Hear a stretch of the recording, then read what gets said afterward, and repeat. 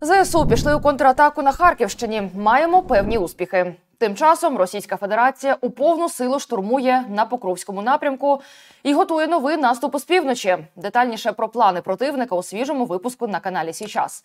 Закликаю вас підписатися і будемо одразу ж починати. У вівторок, 28 травня, повідомляється, що Сили оборони України перейшли до масованих контрнаступальних дій на Харківщині. Така інформація з'явилася у дописі телеграм-каналу Скадовський захисник. Її ж підтвердили аналітики інституту вивчення війни у свіжому звіті від фахівців із США за середу, 29 число. Йдеться про те, що наші воїни мали успіх. Вони просунулися на північ від Харкова у напрямку села Липці. І крім того, геолокаційні кадри від попереднього дня показують, що ЗСУ відновили позиції вздовж смуги на південний схід від Лук'янців.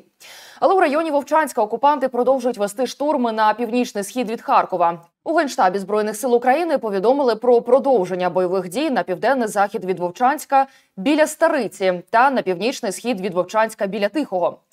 Своєю чергою речник угруповання військ Хортиця ЗСУ підполковник Назар Волошин зазначив, що армія противника завдає потужних ударів по місту із термобаричних артилерійських систем ТОС-2. Це модернізована версія сонцепьока. Використовує таку махіну угруповання загарбника Сєвєр, а коригування вогню ведеться безпілотником Зала із тепловізором. Це публічна інформація, якою вихваляються Z-канали, знімаючи свої воєнні злочини на відео. Такі кадри від путінських воєнкорів ви зокрема бачите на екрані. Як повідомив пан Волошин, росіяни також активно застосовують керовані авіабомби, якими також гатять просто по місту. Але просуватися це їм особливо не допомагає. Однак і наші воїни дають гідну відсіч. Лишень погляньте, як на вовчанському відтинку українські прикордонники дроном камікадзе вжарили по ворожих позиціях, біля яких у лісосмузі накопичувались окупанти та переміщували майно. Дякуємо воїнам за прекрасну роботу і рухаємося далі. 28 травня війська РФ продовжували наступ на лінії Куп'янськ, Сватове, Кремінна, але підтвердження змін лінії фронту на цьому векторі не було.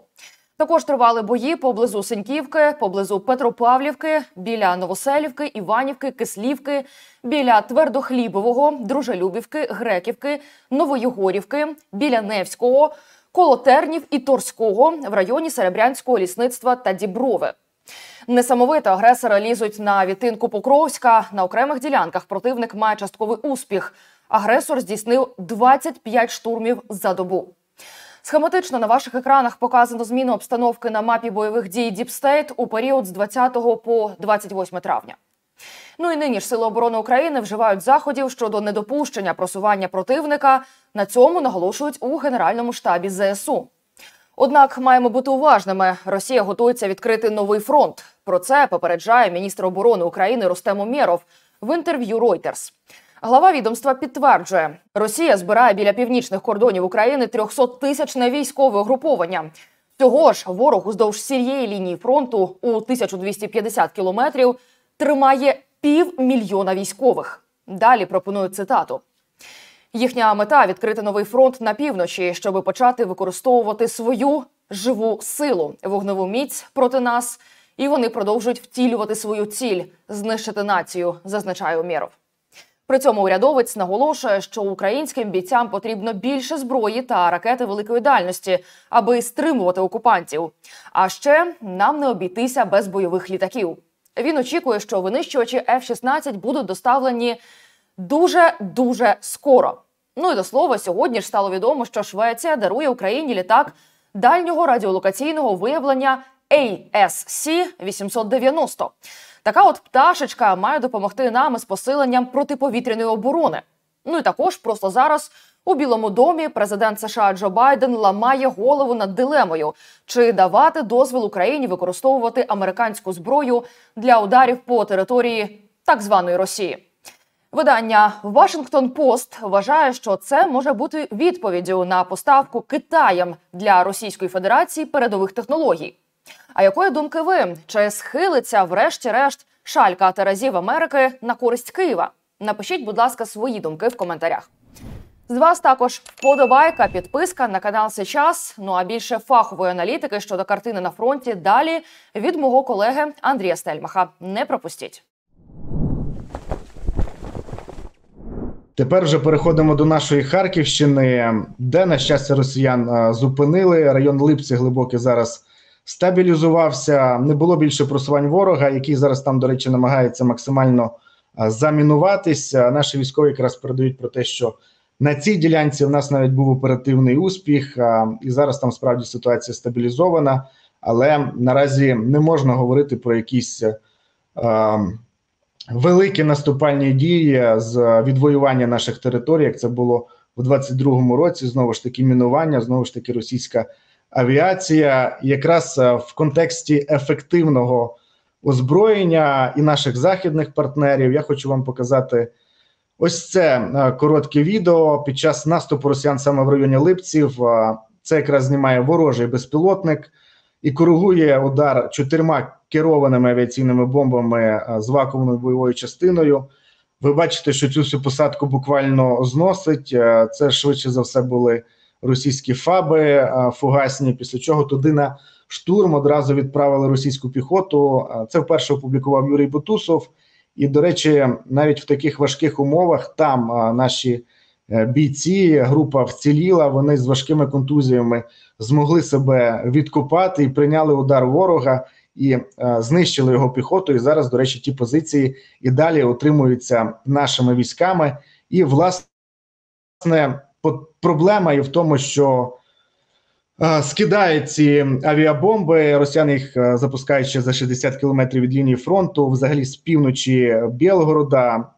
Можу для прикладу навіть е, виміряти дистанцію, до прикладу, від того ж від тих же шалипців до до прикладу, ну от північної частини Білгорода 54 кілометри. Тобто вони це можуть робити ще далі, і що поза зоною там всіх більшості наших протиповітряних комплексів. І тут німецький журналіст Юліан Рьопке, видання Більд говорить про те, що Збройні сили України всього одного разу використовували систему Петріот для ударів по території Росії. і Він наводить ще минулорічне збиття в травні трьох гелікоптерів, і тоді ще впало два російських винищувачі. Було це в Брянській області, і після чого, начебто, з Вашингтону, з Німеччини почались погрозливі телефонні дзвінки. Що якщо це продовжиться, то партнери.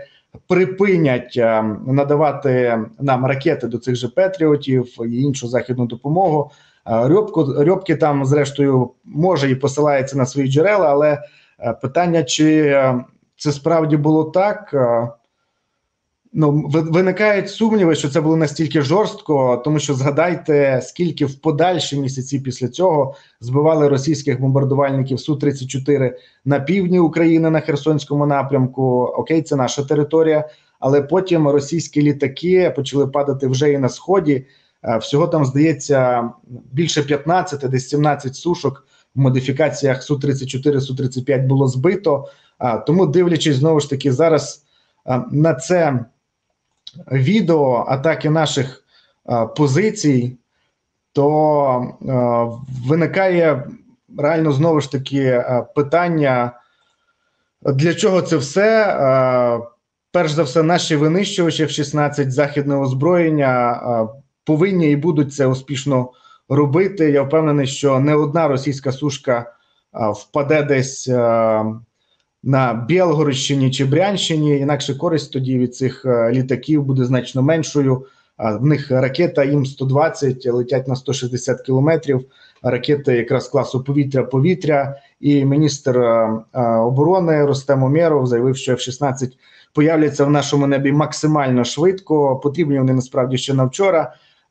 Наразі, на жаль, в наших західних партнерів справді стоїть в цьому питанні деякий блок.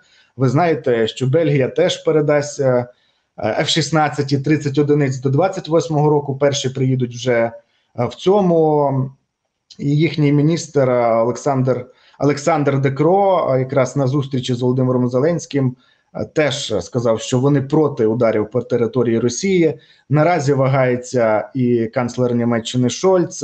А от генеральний секретар НАТО Єнс Столтенберг розкритикував цю заборону наших в принципі західних партнерів не, не використовувати їхню зброю на російській території. каже, що це сильно ускладнює самооборону України вчора ввечері. І президент Франції Мануель Макрон теж заявив, що Захід повинен дозволити нам нейтралізувати е, військові об'єкти, з яких запускають ракети, тобто авіацію, військові об'єкти, з яких нападають на Україну. Це ракетні комплекси наземного базування. Інакше, якщо цитувати його, як пояснити українцям, що вони мають захищатись без захищатись без можливості атакувати місця, звідки ці ракети взагалі запускають. Це якщо брати дослівно, і власне якраз наступ росіян на Харківщині наочно продемонстрував безглуздість цього обмеження. Тому я впевнений, що Крига зовсім скоро скресне, оскільки, до прикладу, в Вовчанську зараз е, найскладніша ситуація.